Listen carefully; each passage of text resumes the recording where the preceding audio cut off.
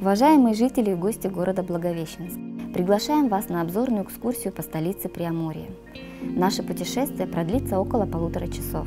За это время мы сделаем три остановки, на которых познакомимся с основными достопримечательностями и историей города.